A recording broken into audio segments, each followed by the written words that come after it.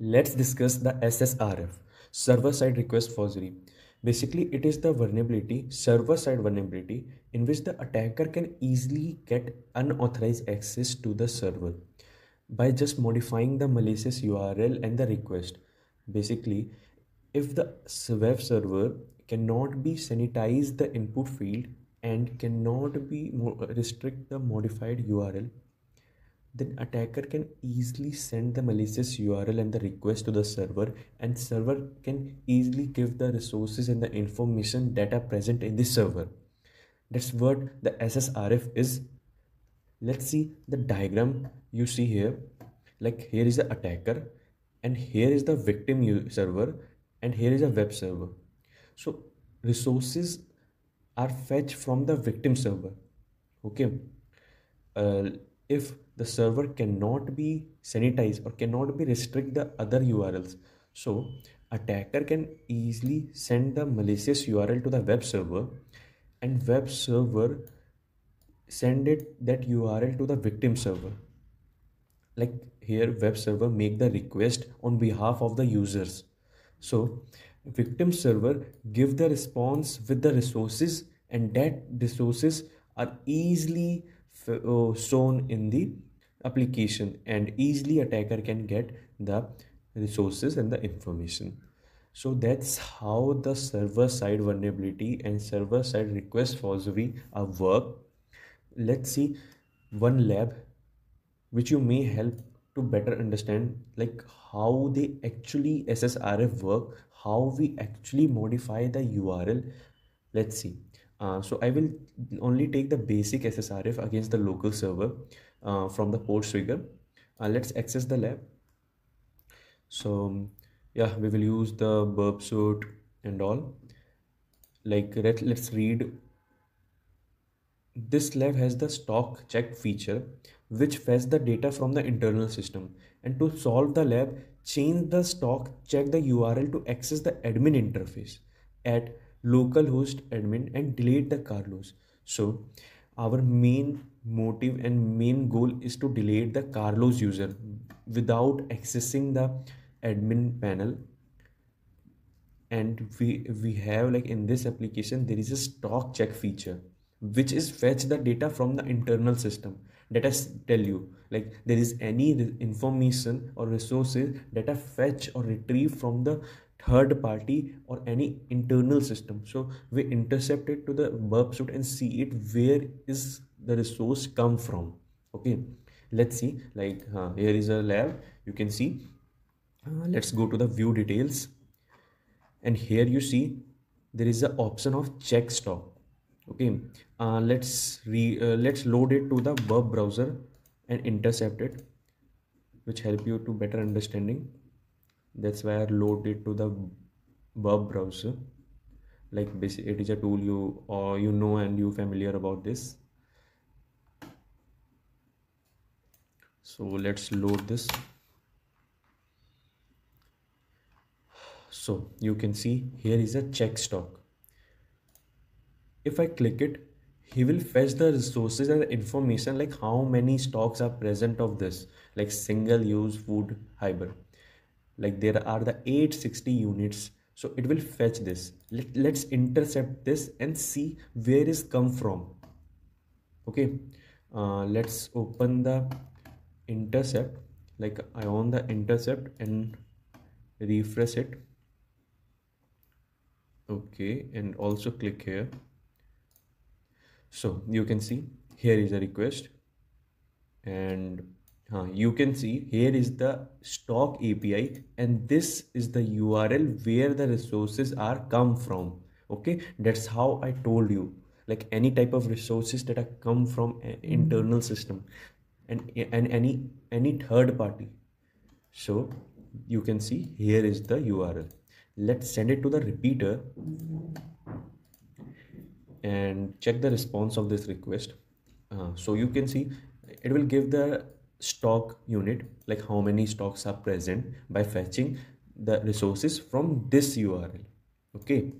Here you can proper read the url it is a decoded form. Uh, so like stock dot net. So this is the uh, third party app third party application uh, in that the application use the api of this. So in the ssrf what i say i just attacker can just modify the url and if the server cannot be sanitize the input field and cannot be restrict the other url so my modified url will also work and will also give the response to me. So let's see how they work okay? Uh, suppose uh, I write the local host IP address because in the lab he will he will tell us the uh, you can use the local host interface. Here you will see like local host admin and delete the user Carlos so it so yeah if you test this vulnerability so you will always start with the local host and then start to modifying the url like you can first check the check to modify the url with the local host. Sometimes it's easily worked. Uh, i think that's work and that's uh, oh i think we also need to give the port number also yeah that's work i think. Wait wait wait. I will check here. Yeah that's work i think. So let's do this and send it to this. You can see here he will give the internal server error. If I, if you see there are internal server error which means it cannot be restrict the other url if server can give the internal error which means it is vulnerable with the ssrf which means i easily modify the url and find the find the exact request and give and give the resources uh, with the help of server. Okay. So uh, here you can easily understand like if i modify the url then he will easily give the internal server error sorry error which easily tell us that it is vulnerable with the ssrf so that's how they work. Like uh, let's move forward. Okay. Uh, let's check any other. Let's modify the url here. You can see like is there anything that are modified wait okay and we need to access the admin panel. So we need a 200 status code by modifying the url which help us to uh, give all the list of the users that are present in the application. You can see like he's in the still he's in the reload because i mind i cannot be off the intercept. Uh, let's see here like which so i try to modify the ip addresses of this and check it like is there any other request that are present in this which easily accept this or not? Let's see. Like i write the ip address of the local hosts. Let's write a simple local host here okay and see what what's happened okay? Simple local host. Yeah I, uh, because here is a point like in this stock api it cannot be write it as the ip address. It is write it with the domain name. So it may cause like uh, if i write the ip address it give it basically it tell like it tell the it is vulnerable with the ssrf but it cannot be exactly executed so let's write a domain only okay localhost domain. And then see it like is there any changes that we see in the response or not? Here you can see. It will easily give the 200 status code which accept the url like i already told you there is any modified url which the server easily accept it and give the response with the successful request okay success request which is 200 status code. So uh, we easily find the modified url which accept the server. Uh, so let's copy this url and uh, here paste it and send it to the and basically forward the request. Okay forward this request and of the intercept. Okay let's see like i forward the request but here there is no any change wait okay i again again intercepted. And here i modify this and forward it. Here you can see it will show the list of the Carlos. I cannot be access the admin panel basically I cannot be broke the access control but still I will see the list of the users that are present in this.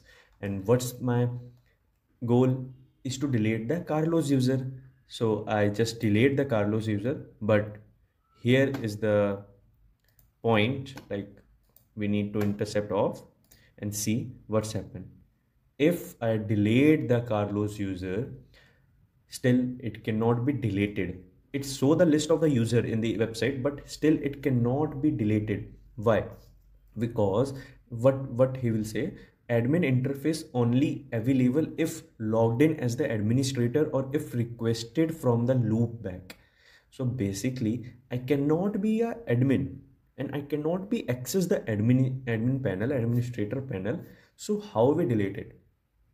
So here is the point yeah we cannot be deleted but we see the information that are present in this like we see the list of the user so yeah we also delete this which means if I give the request or modified URL which are accepted by the server so if if I give the URL to uh, give the URL with the delayed username Carlos.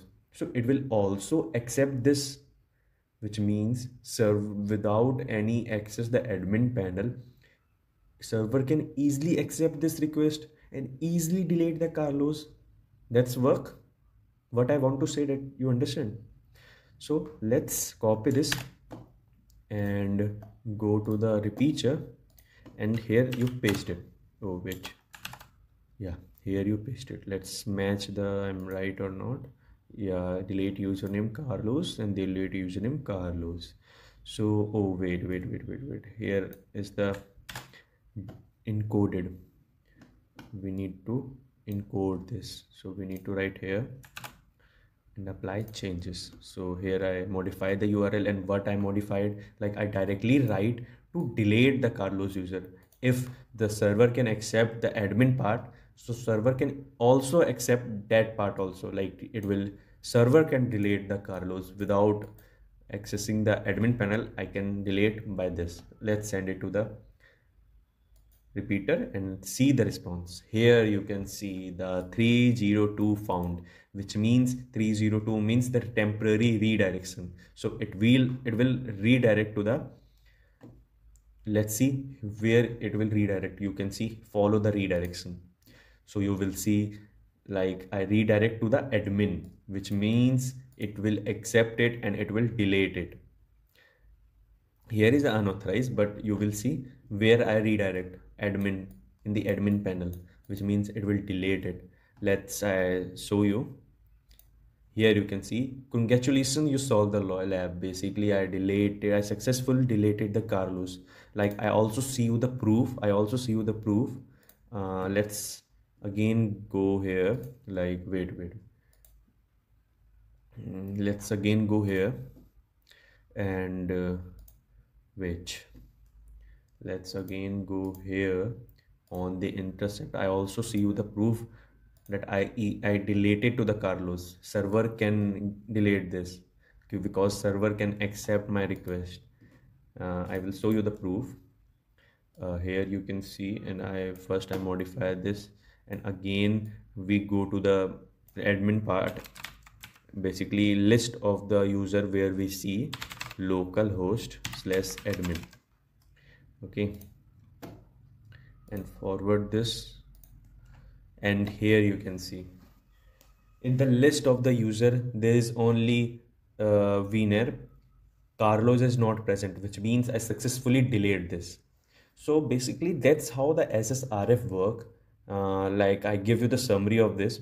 Basically if the server can use uh, any third party and or any third party applications to fetch the resources and server cannot be restrict or cannot be sanitize the input field then attacker can easily modify the url and try to get the resources and the information that are present in the server. So basically that's how the ssrf works server side request forgery